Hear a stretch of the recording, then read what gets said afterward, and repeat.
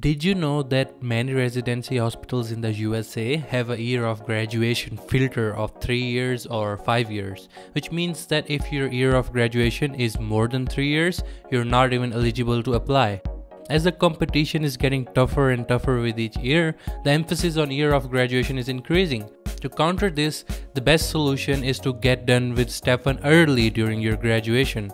Doing this will cut your year of graduation short by at least 1 or 2 years and it will help your situation massively. This is everything medical and in this video we're going to talk about my experience taking USMLE step 1 before graduation and the strategies I recommend for getting step 1 out of your way before graduating. Before we move on, can you quickly subscribe to my channel as I will upload more videos about the step 1 study plan. Thank you. So, let's get one thing out of the way. Taking step 1 before graduation is way easier than taking it after graduation. Why? The subjects are the same in both your college and step 1 curriculum. As you can see in this list, these subjects are tested in the step 1 and surely you have come across most of these in your college time. Remember, American grads take step 1 between the second and third year of their medical school, so why can't you? The main strategy is to use the right study materials that will not only help you get a great score in step 1 but also it will help you get through your college exams as well. Here's a short summary of my strategy. For the first two years of medical school, I only researched about USMLE pathway. Then I got my USMLE first aid step 1 book. I got the review books of each subject for step 1. Then I merged my step 1 preparation with my college exam preparation. In my final year, I took 4 months for my dedicated study period where I did first aid, UWorld and NBMEs. My study schedule, I studied 4 hours minimum every day. How didn't I get bored of studying and kill myself? Here's the good news. Step 1 books are not boring or exhausting like the big and huge college books because these books have more knowledge and less random bullshit. They're easy to read so you feel satisfied after reading them.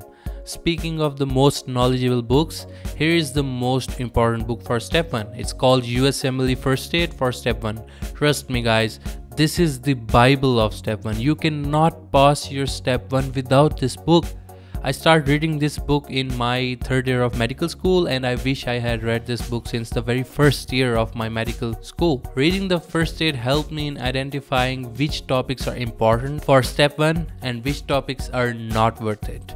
Whatever topics I used to read for my college tests, I give them a read through first aid as well. Here's a pro tip for you. If you haven't started your USMLE journey yet, make this day the day one of your USMLE journey and get this book right now. Even if you don't intend to take step 1 for graduation, I highly recommend you to give it a read. It will work wonders for you. Links are in the description. Moving on to step 1 physiology. For physiology, most of the medical colleges make you read these huge monster sized books, but keep in mind that these books are not suitable for step 1. For step 1, you need a review book specially written for step 1. Reading these review books will also make your concepts super strong and it should also cover the most important topics of step 1. The book that I recommend is BRS Physiology Review by Linda Costanzo. It has everything you need for step 1's physiology, including the commonly tested concepts that you will only see in your advanced phase of study for step 1. But the language in BRS physiology can sometimes be too complex for a beginner. If you're like me who likes books written in a simple language, the book I used to read during my step 1 is Kaplan Physiology lecture notes. The best thing about Kaplan Physiology is that it makes the super complex concepts into fairly easy ones. So, I highly recommend this book based on my personal experience. In fact, most subjects in step 1 are very well covered by Kaplan lecture notes set. These subjects include anatomy, physiology, biochemistry and genetics, ethics, biostat, microbiology, immunology, and pharmacology.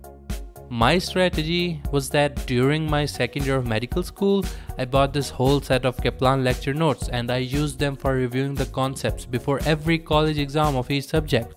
Because of this strategy, I was in complete control of the step 1 concept and topics by the start of my 5th year. So then I bought a UWorld at the time and I was more than ready to take up the toughest medical exam ever. Pro tip for you, get the whole set of Kaplan lecture notes and read them alongside your college books. For subjects like micro and pharma, you can totally replace your college books with Kaplan notes. Supplement your college exams with these notes. I promise it'll go a long way. The link to buy them is in the description. But unfortunately, there are a few subjects which are not covered by Kaplan. Most notable is pathology. But good news, there is a super book for pathology. This book will not only cover your step 1 but it will make you a master of pathology for your college exams as well.